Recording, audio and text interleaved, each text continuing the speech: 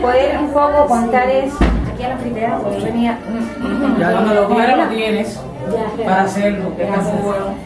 Yo venía con cierta frecuencia aquí a la anfiteatro. Recuerdo que cuando yo tenía síntesis, una peña aquí, en varios trovadores y varios grupos, y aquí vine a exponer algunas de mis canciones, siendo yo muy jovencita. De niños no en aquel momento. No, no, no, no, no, no. Hacer conciertos de mis canciones trovadoras aquí. Y habías vuelto a cantar en el anfiteatro, habías vuelto al Parque Metropolitano. Sí, he estado en Sí. otros momentos, sí. Haciendo conciertos para niños. Ahora, otra cosa que nos llama la atención. ¿Qué pasa antes del concierto?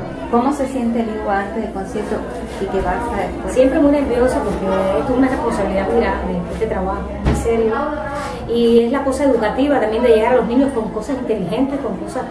eh, ya tengo a favor el repertorio, que son canciones de Ana Elba Pérez, de Teresita Fernández, Gabilondo. Gabriel Soler, Marlena Walsh, los clásicos por supuesto.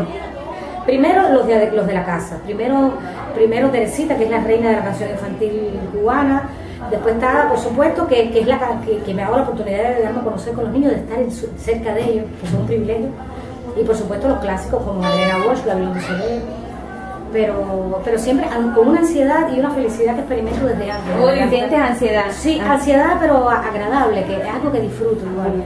Porque es trabajar para ellos, que para mí es uno de los regalos que me ha dado esta carrera. Poder trabajar para los niños. Ahora, ya la vez que estás en el escenario, todo empieza a ceder. Sí, sí, sí. Pero sigo muy ansiosa, pero es- cuando digo ansiosa, pudiera quizás. eh, eh, Es algo físico, definir es algo. dentro, no sí, sé. sí, es un susto amoroso que me, que me coge, me sobrecoge cuando voy a estar ahí con ellos. Cuando estoy con ellos veo las caras y no solo veo niños, sino veo ancianos. Eso me, me motiva mucho, me alegra, me, me hace sentir honrada de estar ahí. Y siempre está, me llama la atención, siempre hay algo didáctico. Por ejemplo, hoy fuiste repasando los instrumentos musicales, les iba llegando a ellos. Sí, La- siempre me ha gustado. Sí. Yo creo que es importante eh, la cosa educativa, la cosa, pero sin que sea pecosa, sin que sea excesiva, sin bobería, sin diminutivo, las, las palabras como son.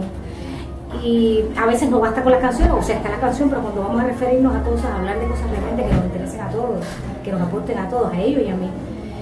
Y, y de eso se trata, ¿no? Introducir un tumbado de bambán era llegar a los abuelos y a los padres que estaban Y ahí llegar también a ellos, a las raíces de ellos mismos, o sea, que estar en la casa. ¿Y qué pasa después de- del concierto?